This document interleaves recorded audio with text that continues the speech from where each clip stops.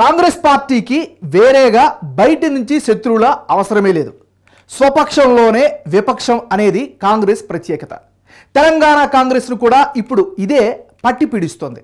ఒక పక్క ఎన్నికలకు ఆరు నెలల సమయం కూడా లేని తరుణంలో పార్టీలోని సీనియర్ నేతలు తలోదారి పడుతున్నారు. పిసిసి అధ్యక్షుడు రేవంత్ రెడ్డికి ఎవరూ సహకరించడం లేదు. సీనియర్లకు ఆయన గౌరవం ఇవ్వడం లేదు కాబట్టే ఎవరూ కలిసి రావడం లేదన్నది ఒక వాదన. అయితే ఎవరూ సహకరించకపోవడం వల్లనే రేవంత్ వారికి గౌరవం ఇవ్వడం లేదన్నది రేవంత్ వర్గీయుల సమాధానం. చెట్టు ముందా విత్తు ముందా అన్నట్లు ఇది తేలేది కాదంటున్నారు రాజకీయ పండితులు. అయినప్పటికీ రేవంత్ రెడ్డి ఏమాత్రం తగ్గడం లేదు. మాజీ మంత్రి ఈటల విషయంలో ఛాలెంజ్ తీసుకోవడం ద్వారా ఒక్కసారిగా హిట్ పెంచగలిగారు. ఈ దూకుడుతోనే పార్టీకి పెద్ద దిక్కుగా ఎదుగుతున్నారనేది వాస్తవం.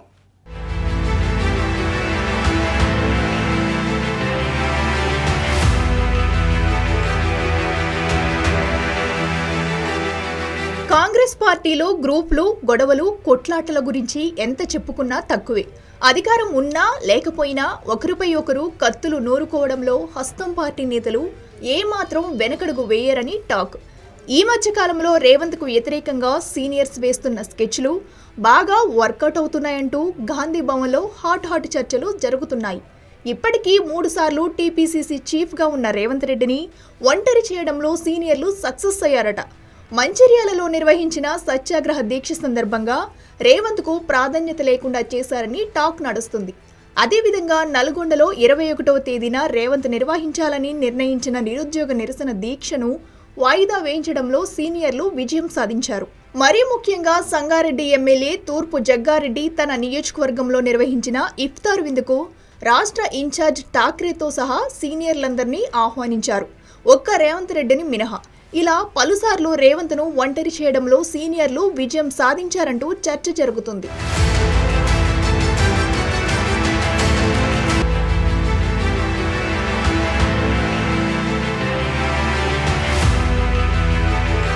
మంచిర్యాలలో నిర్వహించిన సత్యాగ్రహ దీక్షలో ఆల్ ఇండియా కాంగ్రెస్ అధ్యక్షుడు మల్లికార్జున ఖార్గే పాల్గొన్నారు. హైదరాబాద్ నుంచి మంచిర్యాల వరకు హెలికాప్టర్లో ప్రోటోకాల్ ప్రకారం రాష్ట్ర పార్టీ అధ్యక్షుడు రేవంత్ జాతీయ పార్టీ అధ్యక్షుడు ఖార్గేతో కలిసి ప్రయాణించాలి. అయితే సభ జరిగిన మంచిర్యాలకు ఖార్గే వచ్చిన హెలికాప్టర్లో కేవలం మూడు సీట్లు ఉన్నాదన్నే ఏర్పాటు చేశారు. దీనిలో ఖార్గేతో పాటు ఆయన పిఏ రాష్ట్ర ఇన్ఛార్జ్ ఠాక్రే సరిపోయారు. మంచిర్యాలలో ఉన్న ఠాక్రేను ఆగ మేఘాల మీద హైదరాబాద్ పంపించి అక్కడి నుంచి ఖార్గేతో హెలికాప్టర్లో వచ్చేలా ప్లాన్ చేశారట. దీంతో రేవంత్ కారులోనే మంచిర్యాలకు రావాల్సి వచ్చింది. హెలికాప్టర్లో ఖార్గేతో కలిసి రేవంత్ రాకుండా చేయాలన్న సీనియర్ల పన్నాగం ఫలించిందట. సభ వేదిక మీద కూడా రేవంత్కు ప్రాధాన్యం లేకుండా చేశారట.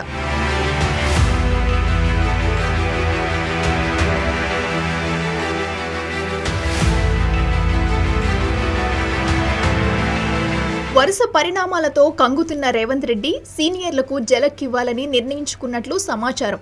నిరుద్యోగ దీక్ష నల్గొండలో జరగకుండా అడ్డుకున్న సీనియర్లకు ఖమ్మంలో నిర్వహించడం ద్వారా కౌంటర్ ఇవ్వబోతున్నారట.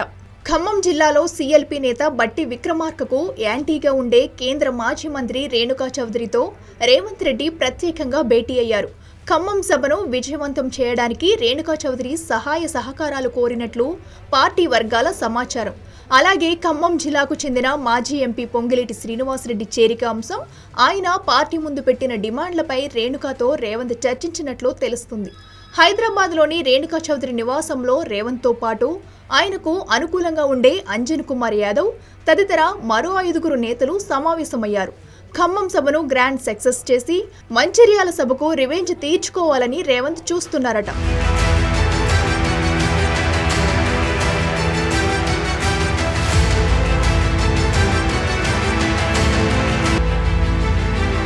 టీ కాంగ్రెస్లో గ్రూప్ పాలిటిక్స్ ఎప్పుడూ ఉండేవే. కానీ రేవంత్ రెడ్డి పీసీసీ చీఫ్ అయ్యాక గొడవలు పీక్స్కు చేరాయి. సీనియర్లంతా రేవంత్ను వ్యతిరేకిస్తుండటంతో వారితో పోరాడుతూ రేవంత్ ముందుకు సాగాల్సి వస్తుంది. కానీ రేవంత్ రెడ్డి కూడా అంతే దూకుడుగా ముందుకు వెళ్తున్నారు. తాజాగా మునుగోడు ఎన్నికలకు కాంగ్రెస్ పార్టీకి బీఆర్ఎస్ నుంచి ముడుపులు ముట్టాయి అని ఈటెల రాజేందర్ ఆరోపించగానే దూకుడుగా స్పందించారు. భాగ్యలక్ష్మి గుడి దగ్గరకు వచ్చి ప్రమాణం చేస్తానంటూ గుడి దగ్గరకు చేరుకుని హంగామా చేశారు. దీంతో బీజేపీ వర్గాలు వెనక్కి తగ్గాల్సి వచ్చింది. ఈ దూకుడుతోనే కాంగ్రెస్ను ముందుకు నడిపించాలని రేవంత్ భావిస్తున్నారు.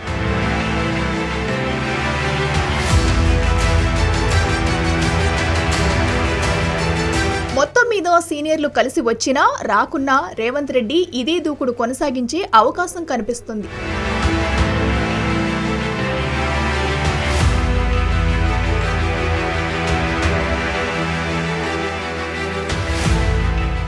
మాజీ మంత్రి జూపల్లి కృష్ణారావుకు లైన్ క్లియర్ అయింది. ఇప్పుడు ఏ పార్టీలో చేరాలి అనే నిర్ణయం తీసుకునే సమయం ఆసన్నమైంది. అంతేకాకుండా ప్రధాన రాజకీయ పార్టీల్లోని అసంతృప్తులు కలిసి కొత్త పార్టీ ఏర్పాటు దిశలో చర్చలు సాగుతున్నాయట. ఎటువైపు అడుగులు వేసినా నిర్ణయం మాత్రం తొందరగా ఉండాలంటున్నారు జూపల్లి అనుచరులు. మరి ఇప్పుడైనా జూపల్లి వేగవంతమైన నిర్ణయం తీసుకుంటారని ఆయన అనుచరులు ఎదురు చూస్తున్నారు కర్ణాటక ఎన్నికల ఫలితాన్ని బట్టి జూపల్లి నిర్ణయం తీసుకుంటారు అన్న టాకు బలంగా వినిపిస్తోంది. జూపల్లి నిర్ణయాన్ని బట్టి ఉమ్మడి మహబూబ్ నగర్ జిల్లాలో రాజకీయం మలుపులు తిరిగే అవకాశాలు కనిపిస్తున్నాయి.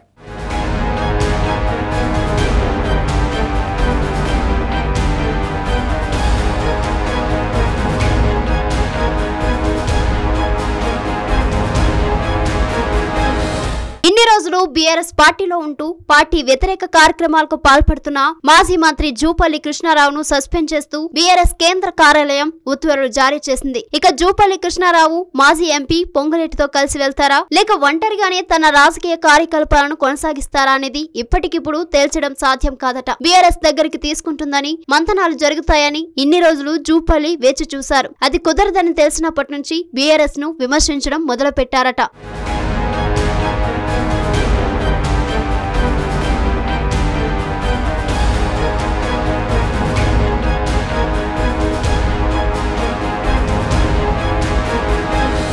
దీంతో ఇక తనకు దొరల గడియల నుంచి విముక్తి లభించిందని కామెంట్ చేశారు జూపల్లి. ఇక పొంగలేటి ఇప్పటికే ప్రధాన రాజకీయ పార్టీలోనూ అసంతృప్తులను చేరదీసి కొత్త పార్టీ పెట్టే ఆలోచనలో ఉన్నారట. నిన్న కొత్తగూడెంలో పొంగలేటి నిర్వహించిన ఆత్మీయ సమ్మేళనానికి భారీ కన్వేతో వెళ్ళి జూపల్లి కృష్ణారావు పాల్గొన్నారు. పొంగలేటి ఆహ్వానం మేరకు జూపల్లి కొల్లాపూర్ నియోజకవర్గంలోని అనుచరగణంతో వెళ్ళారు.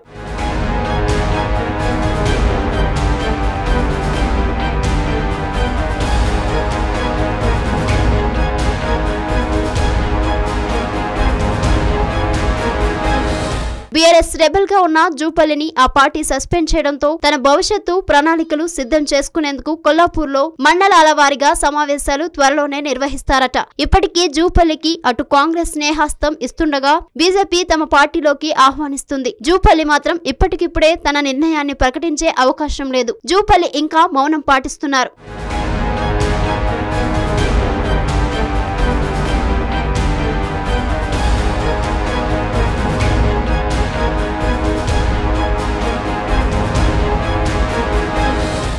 కాంగ్రెస్ పార్టీలో జూపల్లికి పాత పరిచయాలు ఉన్నాయి. కానీ రేవంత్ రెడ్డి నాయకత్వంలో పార్టీ జోరుగా ముందుకు వెళ్తుంది. రేవంత్ ఇదే ప్రాంతం కాబట్టి జూపల్లికి అక్కడ ఎలాంటి గౌరవం దక్కుతుంది అనేది ప్రశ్న. మరోవైపు గతంలో మాజీ మంత్రి డీకే అరుణతో జూపల్లికి విభేదాలు ఉండేవి. బీజేపీలోకి వెళ్ళాలంటే ఈ అంశం కూడా అడ్డుపడుతుంది అని అంటున్నారు. అటువంటప్పుడు జాతీయ పార్టీలోకి జూపల్లి వెళ్ళటం మీద అనుమానాలు రేగుతున్నాయి.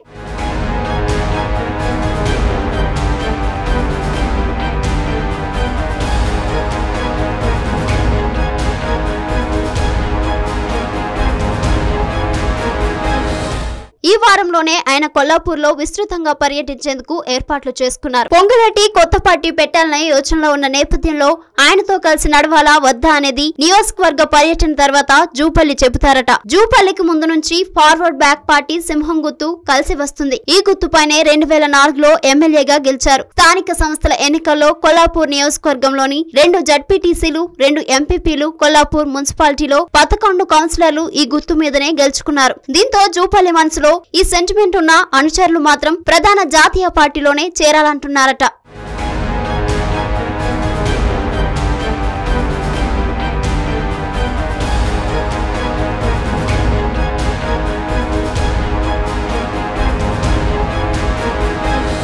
మరి పొంగలేటి శ్రీనివాసరెడ్డితో కలిసి జూపల్లి ప్రయాణం చేస్తారా? లేక ఒంటరిగానే తన సొంత నిర్ణయాలతో రాజకీయం చేస్తారా అనేది వేచి చూడాలి. జూపల్లి ప్రయాణాన్ని బట్టి మిగిలిన పార్టీల వ్యూహాలు మారే అవకాశం ఉందని అంటున్నారు.